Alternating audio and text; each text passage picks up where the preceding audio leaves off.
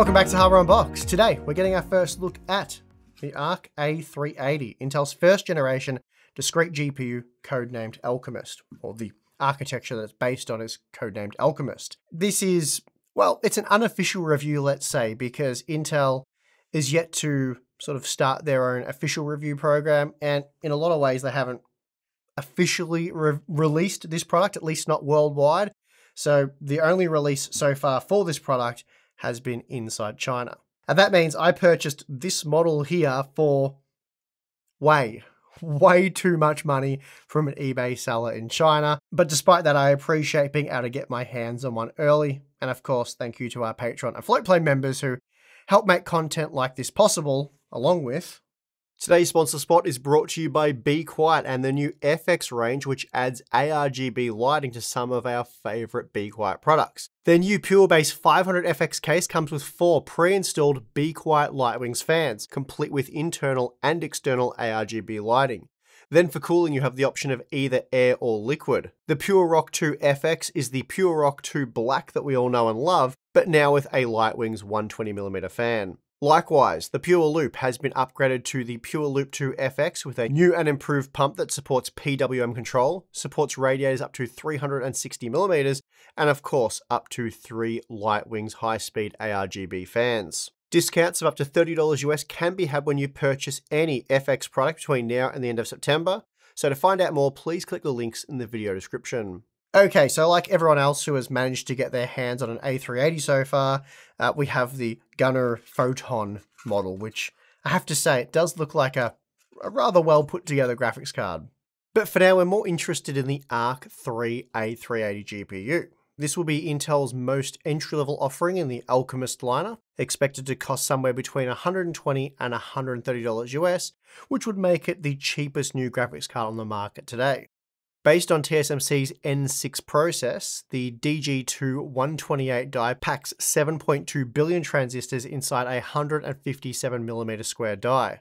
As for the core configuration, there are 1024 cores, 64 TMUs, and 32 ROPs. Then for the memory, we have 6GB of 15.5 gigabits per second GDDR6 memory on a 96-bit wide bus for a bandwidth of 186 gigabytes per second, which is comparable to that of the GeForce GTX 1650. Now, in terms of features, all Alchemist GPUs support AV1 fixed function hardware encoding, DisplayPort 2.0, DirectX 12 Ultimate, hardware-based ray tracing, and XeSS or super sampling based on neural networks, so similar to NVIDIA's DLSS. So at least in terms of features, these new Arc GPUs will rival that of current generation AMD and NVIDIA parts. Performance though and driver support, well that could be a totally different story. As I'm sure many of you are aware at this point, as several other media outlets have already gotten their hands on the A380, Intel still has a lot of work to do on the driver front, and there are also a few strange quirks such as the need for resizable bar support in order to deliver acceptable performance. Therefore, our plan is to first cover the A380 with our standard review format, which is exactly what we're doing now, and then in the next week or two establish baseline performance across a far broader range of games, so 30 plus, hopefully up around 50 if I'm up to the task. I suspect and of course hope that Intel will continue to work on driver support and make good improvements there over the coming months and years. So by getting all this data now, we can monitor that progress as it happens. So with that, let's get into the benchmark results. For testing, I'm using our Ryzen 9 5950X GPU test system, and I know no one is going to pair a budget graphics card with this CPU, but of course that's not the point. We're testing GPU performance and therefore wish to avoid introducing any other kind of system bottleneck, which could skew the data. Now, for our low end to entry level testing, we typically use medium quality settings or settings that make sense for a given title. Also, please note that the A380 has been tested with and without resizable bar enabled, whereas all other GPUs have been tested with rebar disabled, but this is something I'd like to update in the future. Finally, I've tested at 1080p and 1440p, but for this video, I'm going to focus on the more relevant 1080p results, while the 1440p graphs will be made available to Floatplane and Patreon members. Okay, let's get into it. Starting with Assassin's Creed Valhalla, we find that the A380 isn't exactly the snappiest of GPUs. 48 FPS at 1080p using the medium quality preset is it. So better than the old GTX 1050 Ti, I guess, but 11% slower than the RX 6400 when that part is afforded PCIe 4.0 bandwidth. Probably more disappointing though is the fact that it is 9% slower than the RX 570, a now five year old graphics card that started life at just $170 US. Still, the game was playable, so I guess there's that, though I should note you absolutely need rebar enabled, as Intel recommends, otherwise you will be limited to just 36 FPS on average with weaker and frankly unplayable 1% lows of 23 FPS. Next up we have Shadow of the Tomb Raider and performance here is downright horrible with just 42 FPS on average at 1080p and although we are using the highest quality settings, the old RX 570 was good for just 54 FPS and the RX 6400 53 FPS. That said, if we limit the RX 6400 to PCIe 3.0 bandwidth, it is comparable with the A380. Of course though, you will want to make sure rebar is enabled because without it, the game wasn't playable under these conditions, though it possibly would be if we lowered the quality settings. Moving on to Watch Dogs Legion, the results here are more promising, though we're still only looking at RX 570 or RX 6400 light performance. Still 59 FPS on average with the medium quality presets, very playable, and it's certainly competitive with the RX 6400. Again though, you need rebar support because without it, the A380 quickly becomes a GTX 1050 Ti. Next up, we have Rainbow Six Siege, and like Watch Dogs Legion, the performance is reasonable here relative to the competition. In fact, it's a bit better than that, matching the Radeon RX 6500 XT, and in fact, the 1% lows were quite a bit better. It's still not quite GTX 1650 or RX 570 performance, but still, 114 FPS on average using the ultra quality settings is a good result here, and far better than that of the RX 6400. Though once again be aware that rebar is required as without it performance will drop by as much as 26%. With F1 2021, the A380 is back to delivering RX 6400 light performance, which I guess given the expected price will be okay, and the performance overall was very playable and not too bad given that we are using high quality settings. Of course, as we've come to learn, rebar is mandatory and without it the game was unplayable with 1% lows of just 22 FPS. Next, we have Horizon Zero Dawn, and again, we're looking at RX 570 and RX 6400 light performance, so 50 FPS on average. Not horrible, I suppose, though again, as I found over and over now, rebar will be required as without it the A380 is slower than even the GTX 1050 Ti. The Far Cry 6 performance was very lackluster, just 52 FPS on average, which is less than that of the GTX 1650 and on par with the RX 6400 when limited to PCI 3.0, but 22% slower than the 6400 when using PCI 4.0, and then 22% slower than the RX 570, so that's not good. Doom Eternal performance was reasonable. 56 FPS at 1080p using the ultra quality preset is an 8% increase over the RX 6400, but still 10% slower than the old RX 570. The game was playable though, so that is a huge positive for the A380, and it would seem about where we're starting the bar at this point. Frame rates in Resident Evil Village were also reasonable. 68 FPS on average meant the A380 was slightly faster than the GTX 1650, but once again slower than the much older RX 570. Now with rebar disabled, the average frame rate still looks quite reasonable, and normally 58 FPS would be very playable, but the 1% lows were horrible, leading to a very stuttery gaming experience. The Death Stranding results are more concerning, as here the A380 is 13% slower than the RX 6400 and 15% slower than the RX 570, as it only matched the already very underwhelming GTX 1650. Again though, the game was playable, so if you set the bar low enough, the A380 does get a pass, as long as rebar is supported and enabled because without it the ARC GPU was basically broken in this title. Now, the second last game tested is Hitman 3, and this is another rough title for the A380, which only saw GTX 1650 light performance, making it slower than both the RX 570 and RX 6400. Of course, 58 FPS on average with 1% lows of 53 FPS is playable, so there is that, but without rebar, the 1% lows did drop to 26 FPS, and here the experience was horrible, unplayable even. Finally, we have Cyberpunk 2077, and I was pretty shocked to see the A380 doing quite well here relative to parts such as the RX 6400 and RX 570. Both of which it beat by a 16% margin when rebar was enabled. Sadly though, 44 FPS on average at 1080p using the medium quality preset is at best a suboptimal gaming experience, but relative to other budget graphics cards, I suppose it is a pass.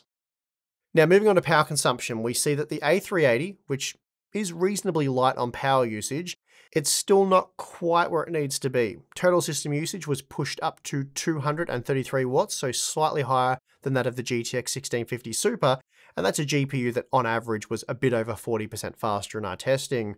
Ideally, the A380 would want to be down below the RX 6400 here, but in reality though, for most gamers the difference here won't matter as the ARC graphics card still works just fine with low-end budget power supplies.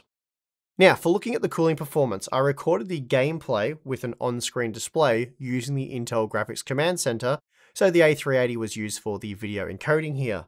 Admittedly, I am yet to really properly play around with this, but I wasn't able to record gameplay without extremely choppy feedback. The game though ran quite smooth, and certainly a lot smoother than you're seeing here. Anyway, for the purpose of recording the operating statistics, it still works, so I'll just use it. When gaming, the Gunnir Photon A380 peaked at just 60 degrees with a fan speed of no more than 1600 RPM, making it a very cool and quiet graphics card, so that is a positive. The GPU was typically seen clocked at 2.4 GHz, and the memory operated at the advertised 15.5 gigabits per second. So overall, a good quality graphics card, it's just a shame about the frame rate performance. Okay, time for the dozen game breakdown, and as expected, the results aren't great. The A380 is at best only able to match the RX 6400 and old GTX 1650, making it on average 11% slower than the 5-year-old RX 570 and way slower than the 5500 XT, which shares a similar sized die. In short, I hated the performance we received from the RX 6400, so I can't say I'm overly impressed with the ARC A380. Although it is only early days for Intel's Alchemist architecture and the entry-level ARC A380, which technically still hasn't been released yet, at least not outside of China. So yeah, to say the situation for Intel is extremely concerning right now, I think that's a massive understatement. And we always knew, like, some of this isn't unexpected. We always knew that drivers would be the Achilles heel of any Intel discrete GPU venture. And perhaps that's all we're looking at here. Perhaps it's just a lack of driver development that could improve over the coming months and years. Frankly, though, that is probably a best case scenario, as more recently it's been suggested that Intel's been stalling the release of their ARC series due to fundamental hardware issues that can't be resolved by drivers alone. Of course, at this point in time, we don't know how true this is, and really it is just a rumour, but I think it's also fair to say the expected rough start has been just that. In fact, the rumour mill has been running hot in regards to Intel Arc news, with many suggesting that Intel is seriously considering cancelling the entire project, allegedly considering it too expensive with no clear road to profit, and with the release continually pushed back, and yet to actually happen outside of China, we fear the rumours could end up being true. Frankly, it'll be really, really disappointing if they don't continue to push forward. Intel's first generation of discrete GPUs was never going to be profitable. The execution was never going to be flawless or even smooth, and it was always going to take three or four generations before they started to get on their feet. We would have assumed Intel knew this and had budgeted for it, but if the rumors are true, apparently not. Rumors aside though, the A380 is clearly disappointing, but I don't think it's a lost cause, assuming further driver development can pretty up the picture a bit. Granted, it's a complete mess without resizable bar, but for now, I'd like to think ARC is sort of a forward thinking investment. And Intel themselves has said that support for older games won't be great. The focus is really on new titles using modern APIs, so DirectX 12 and Vulkan, for example, Clearly, they're also focusing on new PC hardware as well, as the A380 is a horrible pairing for an older PC that doesn't support resizable bar, and in the current condition, you absolutely need to enable rebar if you're going to use an ARC GPU. Of course, the question of whether or not you should buy an Intel Arc GPU when they're eventually released can't be definitively answered just yet. That said, in its current condition, along with the uncertain future of Intel's discrete GPU program, the answer is quite clearly no. There's also the matter of pricing, and let's just assume for a moment that the rumors are all wrong, so forget basically everything we just discussed, meaning Intel is 100% committed to ARC and its driver development. If the A380 were to hit shelves for around, let's say 120 to 130 dollars US, which is about 50 dollars US less than the RX 6400, should you buy it? I'd say if the only alternative was the RX 6400, a graphics card I very much despise, unless you need it for a low profile application, I could see myself gambling on the A380, mostly because I don't care for playing older games anymore. You also get hardware encoding, which I very much like to use, though that could probably do with some software development. You get more than two display outputs and AV1 decoding. You also get an extra 2 gigabytes of VRAM, which is already proven particularly handy, and then the PCIe x 16 interface should help to mitigate any performance related issues when maxing out the VRAM buffer or getting close to maxing it out. However, for gamers on a tight budget, either the A380 or RX 6400 wouldn't make my recommendation anyway. Rather, I'd suggest checking out your local used market, and over on eBay.com, for example, RX 570s regularly sell for around $100, while GTX 1650 Supers go for more like $150, and both are faster than either the RX 6400 or A380. Intel certainly has a lot of work ahead of them, and I sincerely hope they can eventually position themselves as a legitimate third competitor in the discrete GPU market. But for now, that's not looking particularly promising, I have to say. And we'll leave it at that for now. Consider this somewhat of a preview. Hopefully, there'll be a lot more ARC related stuff coming up on the channel over the next few months.